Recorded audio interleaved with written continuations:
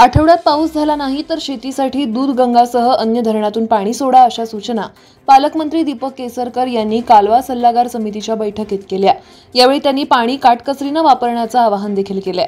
हवामानाचा अंदाज घेऊन येत्या आठ दिवसात आवर्तन द्या अशा सूचना त्यांनी यावेळी केल्यात.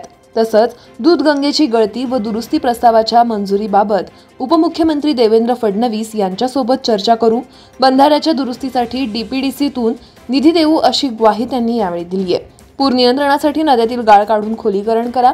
राजाराम बंधाऱ्याप्रमाणे अन्य बंधाऱ्यांना टप्प्याटप्प्याने बर्गे बसवा अशा सूचनाही त्यांनी केल्या आहेत. मनोज जरांगे पाटील यांना पाठिंबा देण्यासाठी आणि कुणबी दाखला वंशावळीसाठी निजामशाही पुरावे मागणाऱ्या सरकारचा निषेध करण्यासाठी आज हुपरी येथे मराठा क्रांतीच्या वतीनं अर्धनग्न आंदोलन करण्यात आलं. शहरातील नेताजी सुभाषचंद्र बोस यांच्या पुतळ्याजवळ मराठा क्रांतीच्या कार्यकर्त्यांनी जोरदार घोषणाबाजी केली. मराठा आरक्षणाचं आंदोलन चिरडून टाकण्यासाठी शासन प्रयत्न करत असून एक मराठा काय करू शकतो हे जालनातील आंदोलनानं दाखवून दिलंय. त्यामुळं मराठा समाजाला लवकरात लवकर आरक्षण द्यावं अशी मागणी करत आंदोलक अर्धनग्न झाले. तसंच आरक्षण मिळेपर्यंत विविध प्रकारची उग्र आंदोलनं करू असा इशारा यावेळी देण्यात आला. मुंबई नागपूर पुणे येथील सरकारी रुग्णालयात किडनी लिव्हर ट्रान्सप्लांट सुविधा सुरू करणार असल्याची माहिती राज्याचे वैद्यकीय शिक्षण मंत्री हसन मुश्रीफ यांनी दिली आहे. कोल्हापूर येथील छत्रपती शाहू महाराज शासकीय वैद्यकीय महाविद्यालयाच्या छत्रपती प्रमिला राजे सेवा रुग्णालयामध्ये कॅन्सर आणि होमिओपॅथी सेवा उद्घाटनावेळी ते बोलत होते. डॉक्टर सूरज पवार डॉक्टर रेश्मा पवार यांच्या कोल्हापूर कॅन्सर सेंटरच्या सहकार्यानं कॅन्सर रुग्णांची तपासणी आणि शस्त्रक्रिया सुविधा उपलब्ध करून देण्यात आली आहे. होमिओपॅथी तपासणी सुरू करणारे कोल्हापुरातील सीपीआर हे राज्यातील पहिलं हॉस्पिटल असल्याचं त्यांनी यावेळी सांगण्यात आलं आहे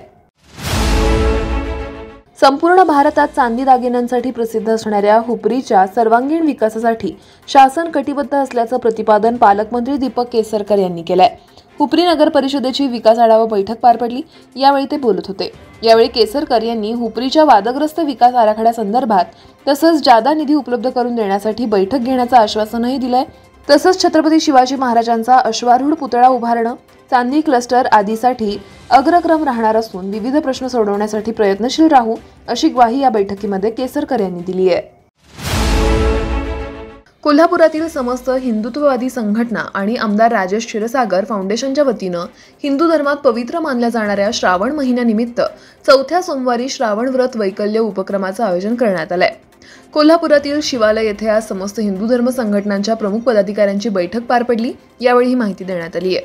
अकरा सप्टेंबर रोजी सायंकाळी सहा ते रात्री दहा या वेळेत नष्टेलॉन महावीर गार्डनजवळ येथे श्रावण व्रत वैकल्य या सामुदायिक उपवास सोडण्याच्या उपक्रमाचं आयोजन करण्यात आलंय. हिंदू धर्मातील सणांची महती सर्वांना व्हावी हिंदू धर्माचं जागरण व संघटन व्हावं याकरिता या उपक्रमाचं आयोजन करण्यात आलं आहे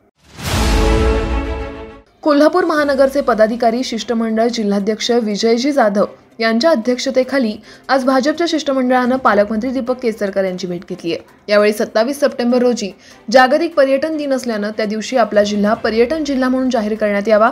एमटीडीसीचे उपप्रादेशिक कार्यालय सुरू करण्यात यावं. सार्वजनिक गणेश मंडळाच्या आगमन मिरवणुकीवेळी कार्यकर्ते व पारंपरिक वाद्यांवर दाखल झालेले गुन्हे अत्यंत निषेधार्ह असून या कारवाईमुळे भविष्यात तरुण पिढी पारंपरिक वाद्यांकडे वळणार नाही.